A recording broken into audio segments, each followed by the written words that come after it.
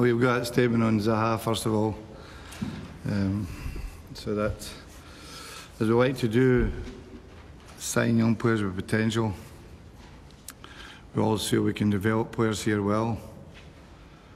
And that's proved its case many times.